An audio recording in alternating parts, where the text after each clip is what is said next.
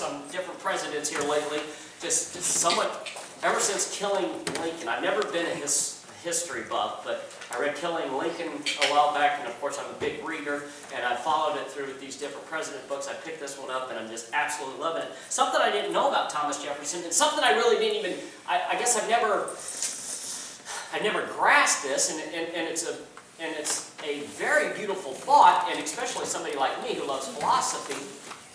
Thomas Jefferson loved history because he believed that history was nothing more than our philosophies, our worldviews being played out in the world scene. All right? I guess that makes sense. We've all heard, what, if you don't know history, you're what? Doomed to Repeat it. repeat it. That's not actually true. It's if you don't understand the philosophies behind what made that history possible, and you repeat the philosophy of that time, that worldview, how you understand things, you are doomed to repeat the history of what? So history is nothing more than the action that comes out beside the behavior. I'm probably talking way up here, I understand that, but I think this is a good foundation so you can understand at least what I'm about to tell you. How many of you believe that we live in dangerous times? Pretty much all of you but my son. Um, son, you were late for church. You have no idea how dangerous a time this is for you. no idea. Even though I don't have my glasses on. What, here's my question for the congregation today. It's a simple question, right here. That's not there, is it? What is the value of a human being? Can anyone tell me? What is a human being worth? About eight bucks. Eight dollars. You, what is that? That's the chemical. Is that just your view of humanity, or is that is that like all right? I'll take one. One, two, three, four, five, six, seven, eight, nine, ten, eighty bucks. One, two, three, four, five, six, seven, eight. I'll take 160 for y'all. Is that what you're thinking, right? Pretty much. Pretty much? That's a pretty good deal. Uh, actually, the- when it comes to the chemical compound, I, I Googled it, so it must be true. It's on the internet. Go to the next slide. $1,985. If you were to take all of the chemicals out of the human being, I don't know how this is true. I mean, 92 pounds of oxygen? Uh-huh. How much does that cost? I, but anyway, according to the internet, and the internet's all-knowing, it's got to be true, says that the human being is worth $1,985. All right, if you were to break it all down. John, you're, you're disagreeing, aren't you? Well, they're breaking it down into the elements.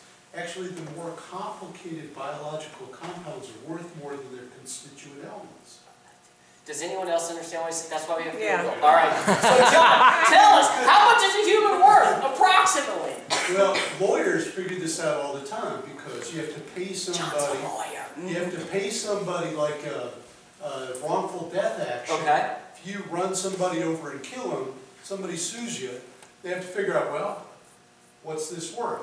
okay, And so it, it varies from person to person depending on. okay. Some people are worth more, some people are worth less. Yeah, but, but I'd say, I'd say about ten million dollars. A person? How many of you would sell John for $10 million right now? I don't know. I like You're pretty much right, John. I can see it. Uh, how many of you would go nine million? Do I have any takers? Nine million. So, John, you're actually worth less than $10 million according to them. Uh, no, I'm kidding. So you, you're saying it's really high. But based on the chemicals, they're saying 1985, but you're saying you've got to do how much they can earn in a living, how much value they brought to the earth, how much time they got left, and, and you're saying around $10 million. That's a lot. That's a lot of money because I really don't think humans value humans that much.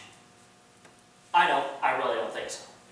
Um, I don't think the worldview in which we live, the philosophy in which we live, I don't think we see the world in that way. When we look at a human, we're like, that person is worth to me $10 million. I don't see it.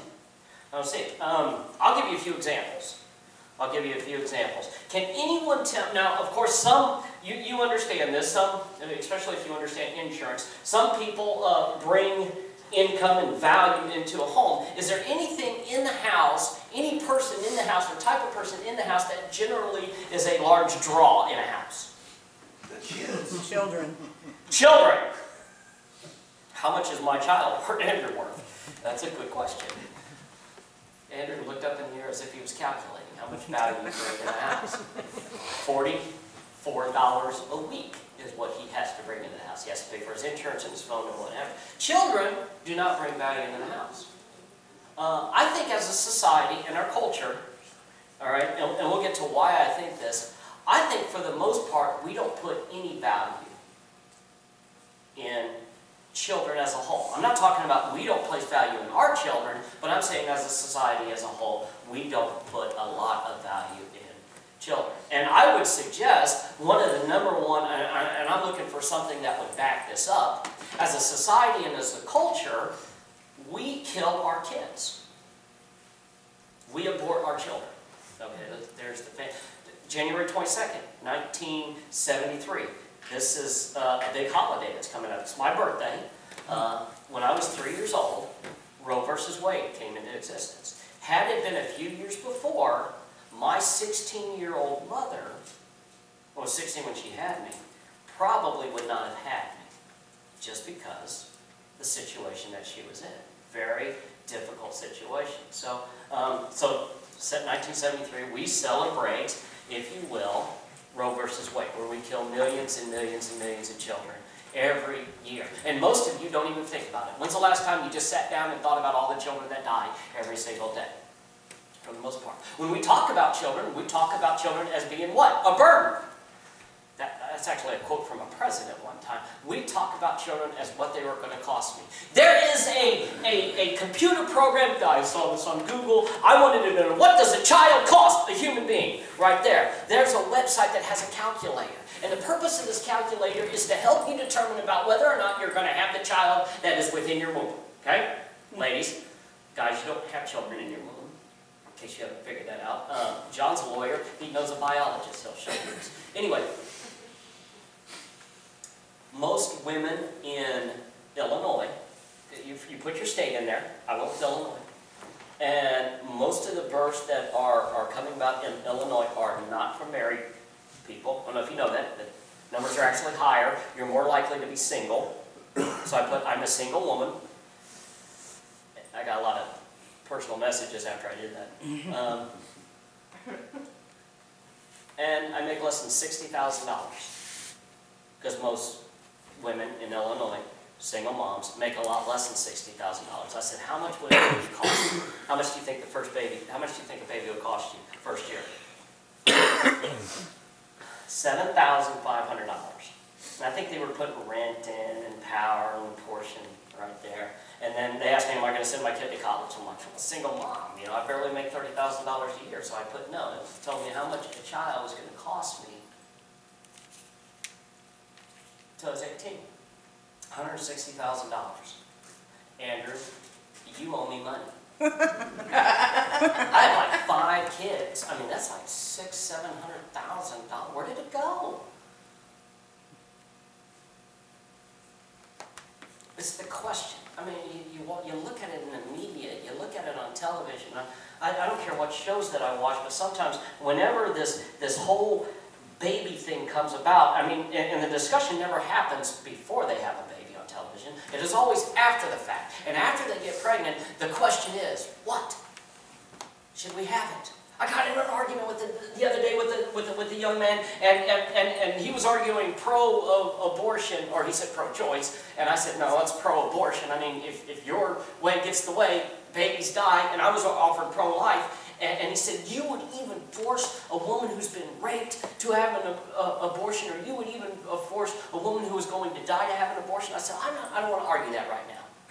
But let's just pretend for one second, one second, that we would agree that in the cases of rape and incest and a woman's life will allow abortion, but all the other abortions are off the table. Would you support it right now? He said, no. Why? Because it's not a matter of that. It's a matter of what? Choice. What's this child going to cost me? My career? My time? wait, wait. What's the value of that life? That scares me. Let me tell you why.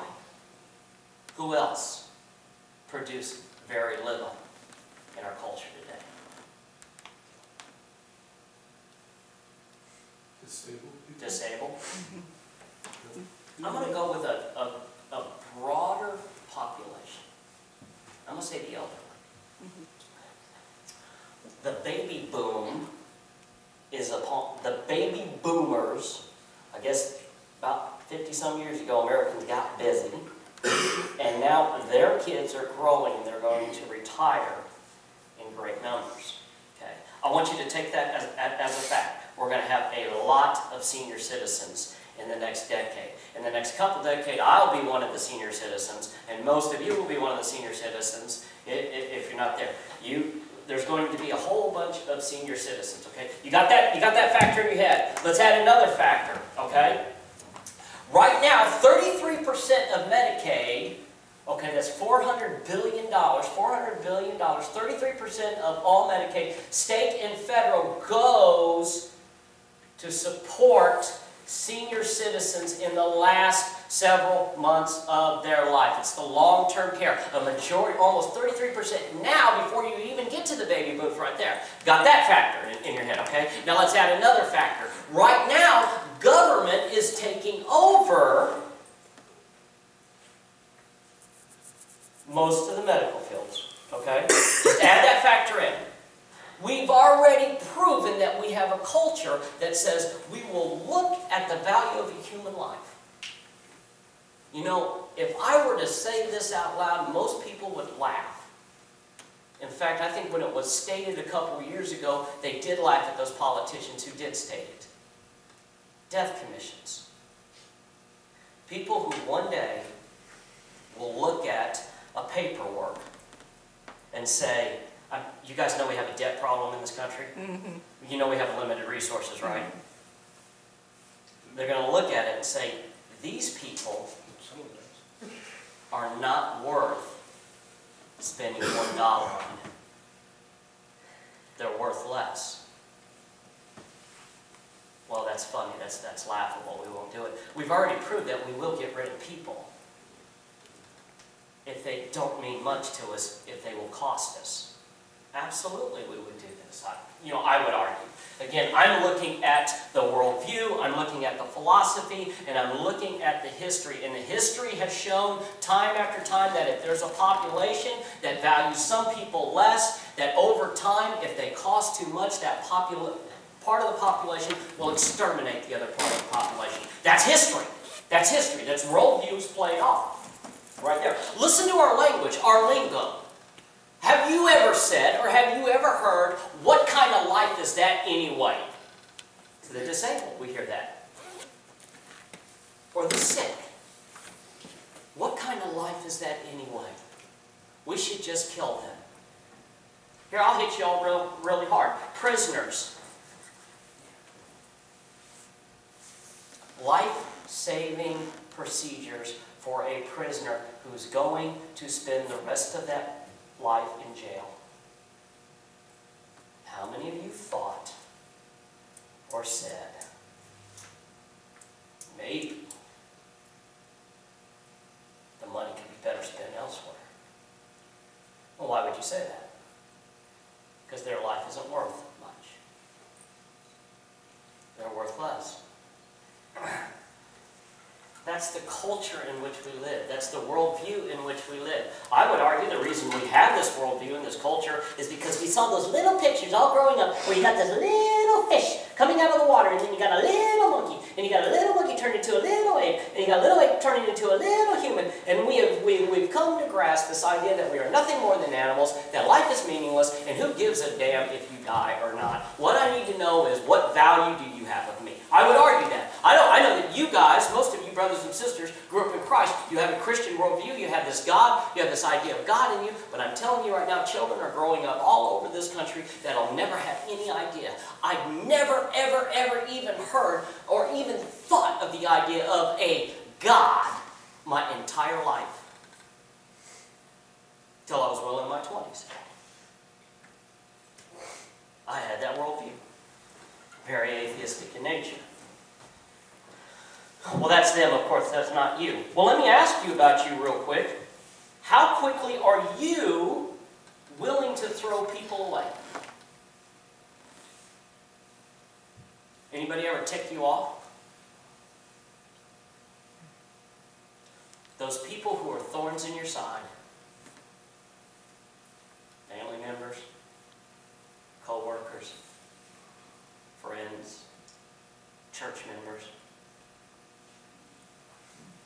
their very existence to you is a costly one. How quick are you willing to throw them aside? Get rid of them. What about people in need? It's funny, but sad. This church, we're small, always been small, we struggle. The people in this community call us up for food. I have a church in this community where they get thousands and thousands and thousands of dollars every week. And when somebody is in need, their members in their church says, call Pastor Mike, they'll help you. I kid you not.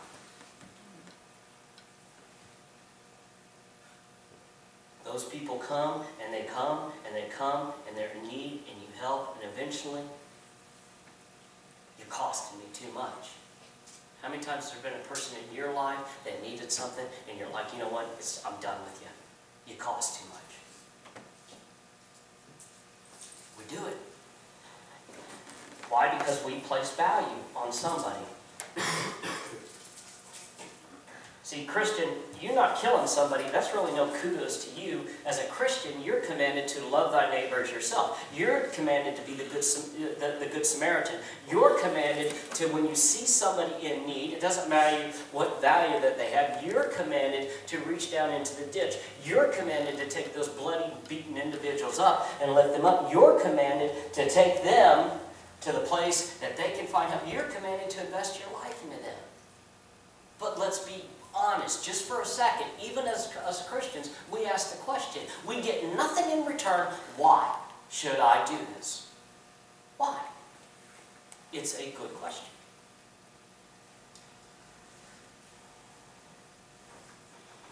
Who likes breaking things?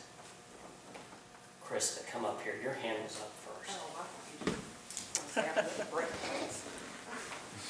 Now, there are some people in here that do not want you to break this. Apparently, this is an antique jar. Oh, well, then why do you have it? I'll tell you why Because you break things. Because I break things. If you don't know me, I break things. I'll put this aside.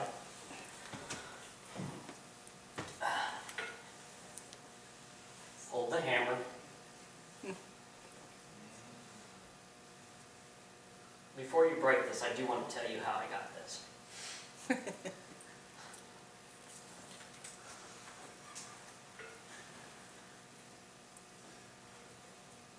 You ready? Mm-hmm. Let me tell you how I got it first. Put my hand here.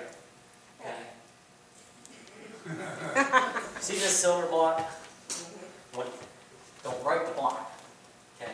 When I was a little kid, I don't even know how old I was. I know my parents were still married. I can tell you the street we lived on Queensway in Down. Does anyone know where that is? That's a rough, rough neighborhood, huh? I, after, after my parents got divorced, I lived on Fairfax. You know where that is? Amen? That's, that's like, hey, that's the slums right there. I mm-hmm. grew up on Fairfax. Poor, poor, poor kid. All right. But anyway, on Queensway, I lived there, and I remember the house, a little white house. We, we ripped out the garage. We, we made that into a room. We were doing some landscaping, and I remember picking up this rock. It was about that big. Okay, but I was a lot smaller, so that rock was probably only about that big or so. So it was before my parents got divorced, and I picked up the rock, and it's a true story, and I, and I was moving it right there and, and doing this as a little kid, and the rock, this is how I busted the fish tank, by the way. It slipped.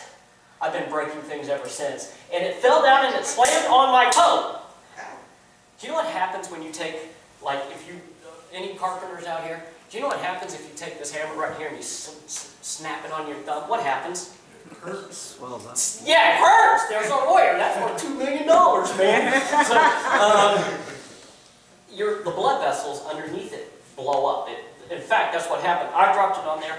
it was such a violent force that the blood splattered underneath my nail, shot forward in, in there. I mean, it busted that nail. And immediately it turned, it swells. I was blessed that it at least busted it through that way because there was no pressure. That pressure would have drove me crazy. But as a kid, I mean, I remember this, um, some of this is based on what my, my parents tell me, but for like, I wouldn't let anyone touch it.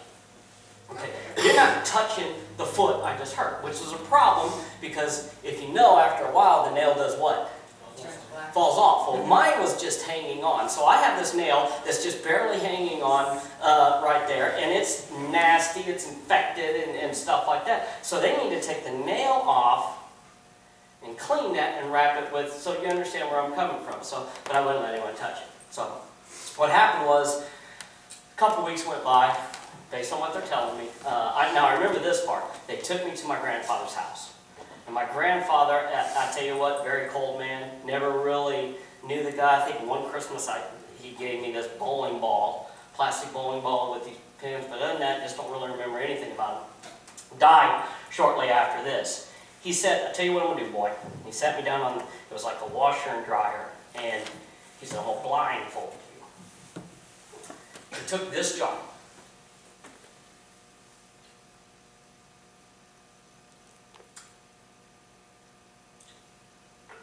filled it up with water. He said, it's magic.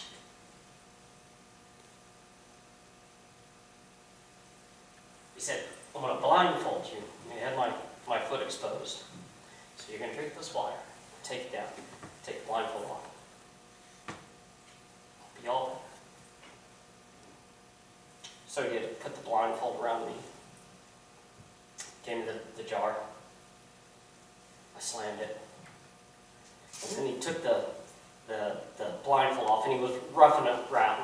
You know what he was doing. He was just making the pain go, you know, just kind of distracting me. Took the blindfold off and my foot was, the nail was gone. That's the job. So you are free to break if you like. No, I know you're right. Hold on. That's not happening. I will pay you five dollars to break it. Rick wants to vote on this. You're not gonna, no? I want more people. You want more? I have more. The jar is of no value to you. Actually, it's gonna cost you not to break it. Why wouldn't you do that? Not worth it. But it's of no value to you. Why not break it? I just wanna know why. Why? Yeah. Because Dana don't want it happening. so Okay. I gotta do it. Well, I value friendship better than I do a jar. So, because this is valuable to somebody else, Mhm. you're not gonna break it. And it's gonna cost you. That's fine. All right, give her a round of applause. I think the truth of the matter is that some humans are of no value to us. They're not. It's a great scripture, though, and I want to share it with you. This is in the Psalms. It's behind me. Psalm 8, 4-8 says this. What is mankind that you are mindful of them, human beings that you care for them. You have made them a, low, a little lower than the angels and crowned them with the glory and honor. You made them rulers over the works of your hands.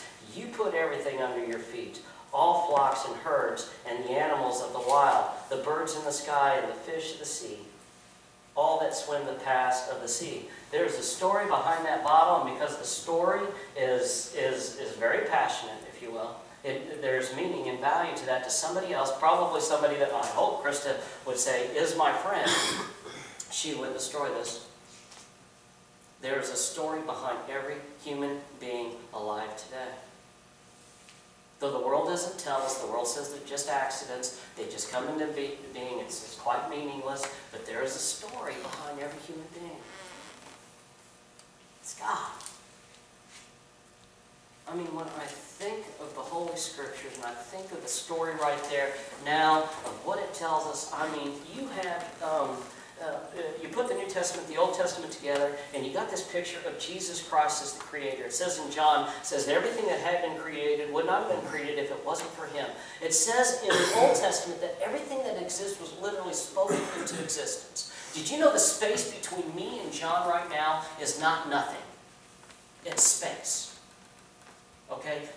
What, what a, a- an unbeliever, an atheist, if you will, somebody who denies the existence of everything, says nothing exists, not even space existed, there was nothing.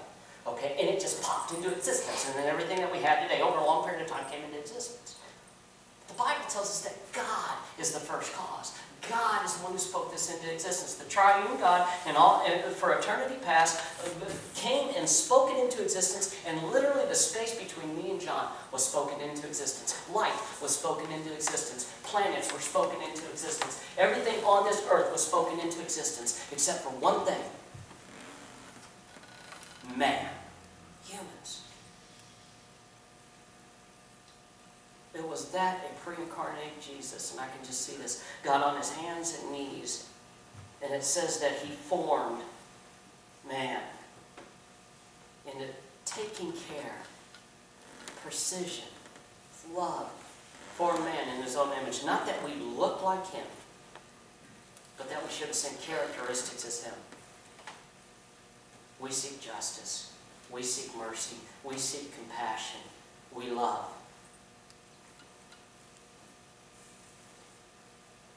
How many of you think love is one of the greatest attributes ever given to us? I do too. You know what's funny though?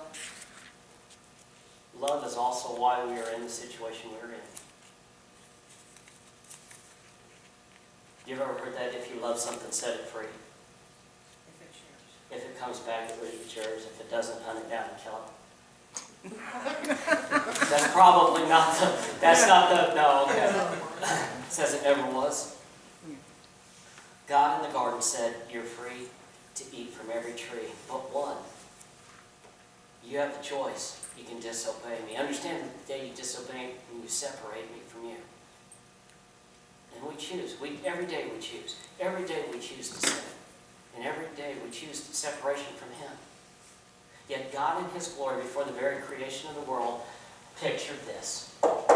From Genesis 3 all the way through, there's the bloodline. I can show you in the prophecies, I can show you over and over and over again how thousands of years, it's always this. It's always this. This is the story right here. That's it. Nothing more, nothing less. That's the story, the cross. Why? Because not only did He create us, but He was going to buy us back.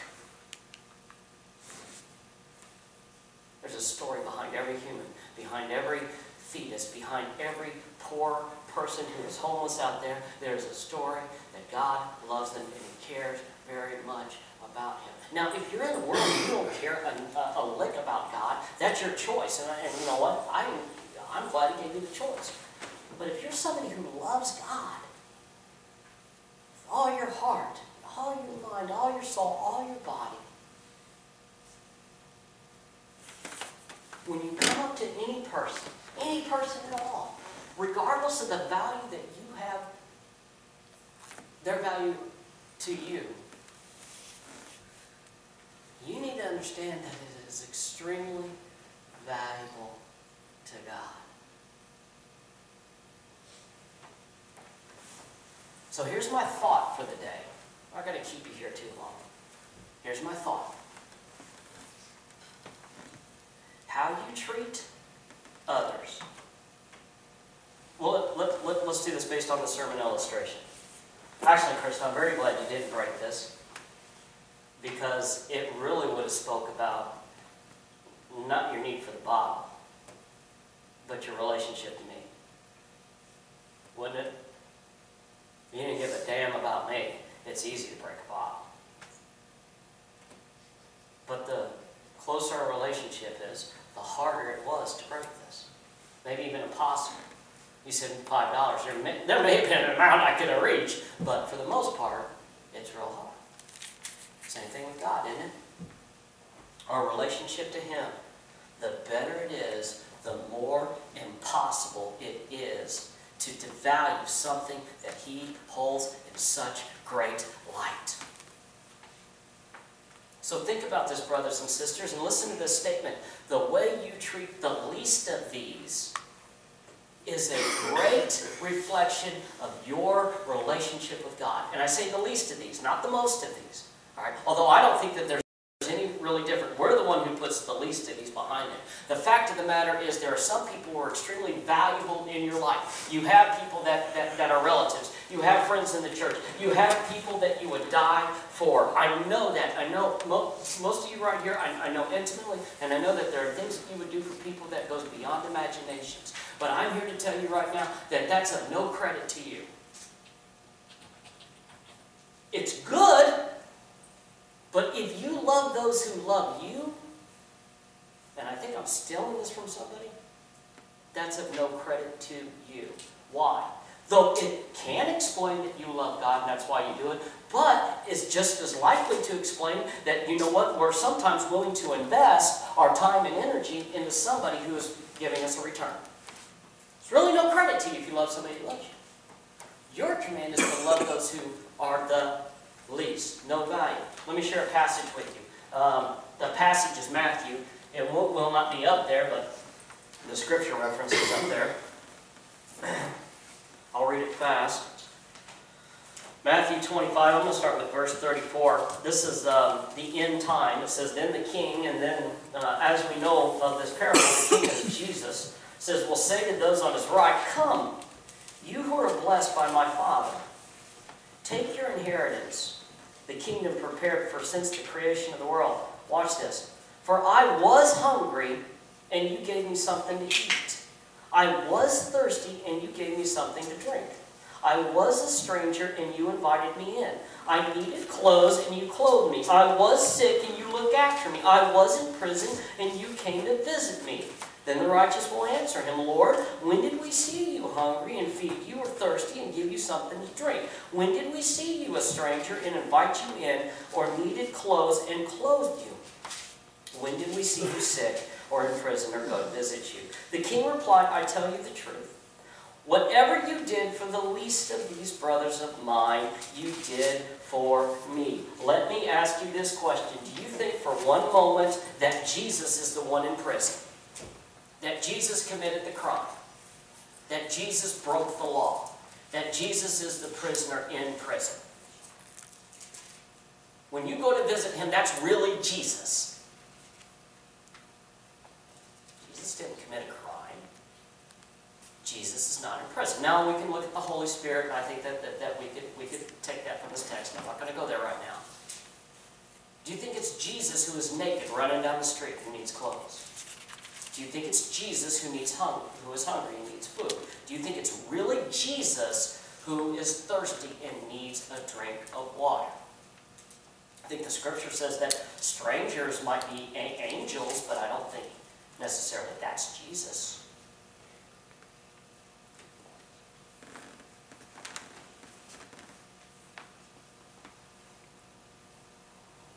But every single time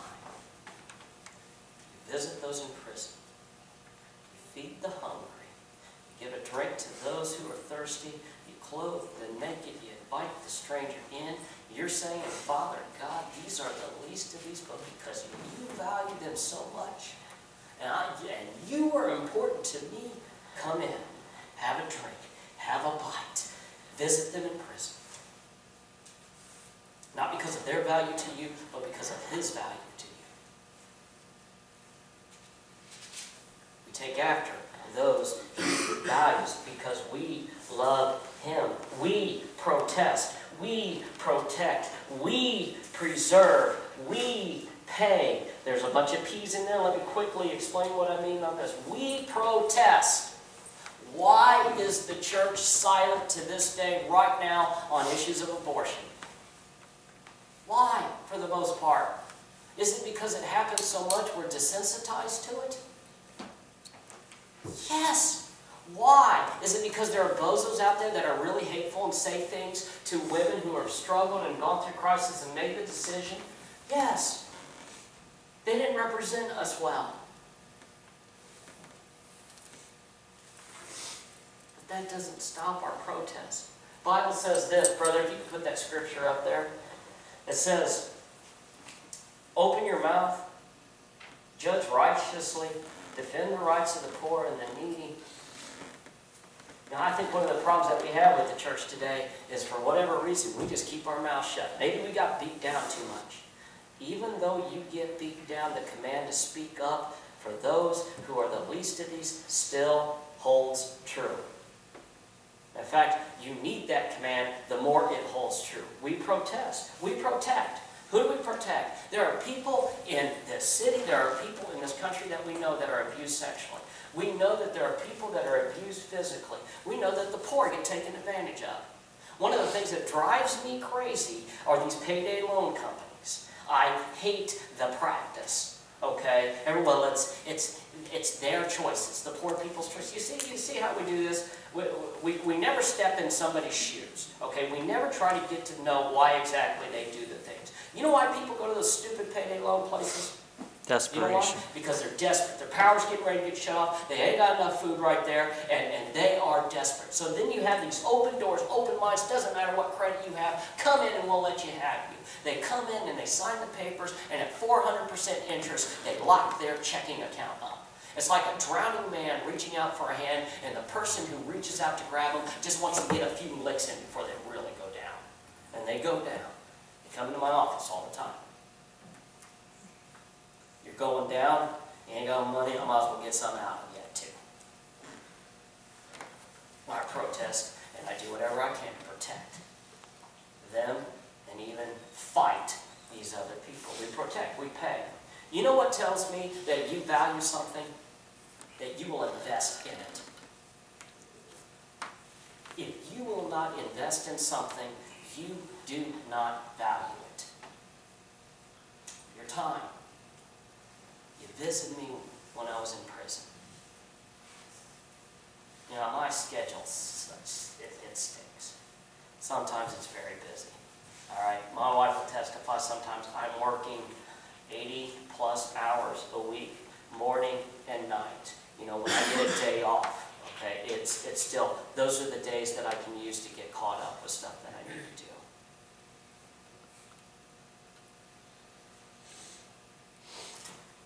But um, why? There are a lot of hurt people.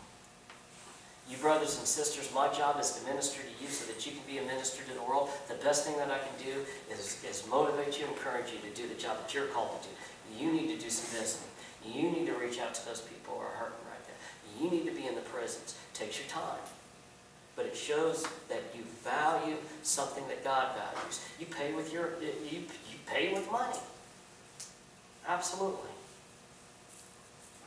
I'll speak later on that later. I'm not going to go into detail on that right now. I think that you pay with your hearts. They were a stranger and you let them in. That's the hardest part of this. You know that? Opening up your door, opening up your heart to somebody. I open up my heart a lot to people, sometimes they're just making the bad decisions and they make them over and over and over again. And I want them well. I want them to make the right decisions, and they still don't make those decisions, and it breaks my heart. It breaks my heart. I got brothers and sisters. You know, this is kind of fun. I got brothers and sisters. Uh, Brother Darren, did you talk a little bit about commitment? We got brothers and sisters in this place right now that are struggling, that are going crazy. And we look around this room, and let's be perfectly honest, there are Christians in this room, and, and some of you are here right now, and, and, and you'll be gone next week, that are just not committed to Christ to the point where you're there. They struggle day in and day out. They're constantly struggling. I don't know why, and it breaks my heart because, you know, we're here for them. But too much of a, of a heartbreak. I care for people. The moment you open up your heart and you care for people, your heart's going to get broken. Is it worth the investment? It is because God values it. Because God says that's important to me.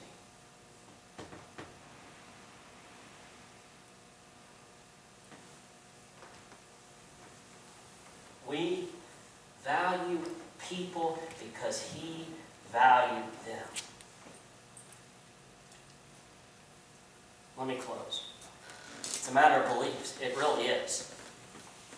It's a matter of beliefs.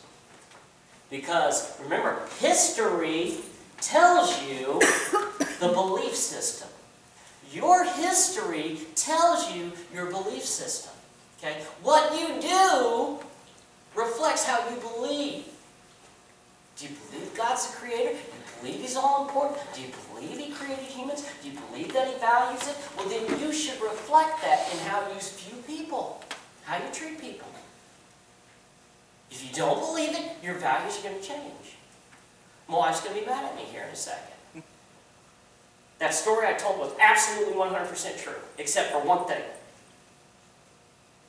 There was no blue vase. I picked that up for 50 cents. Krista,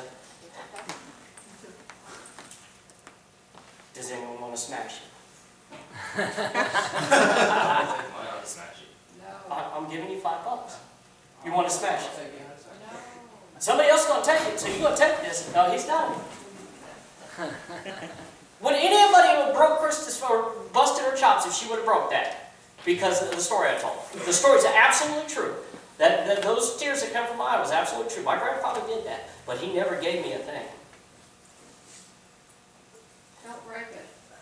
Five bucks. Free, you're free to break. I break stuff all the time. What are they going to do? Break it.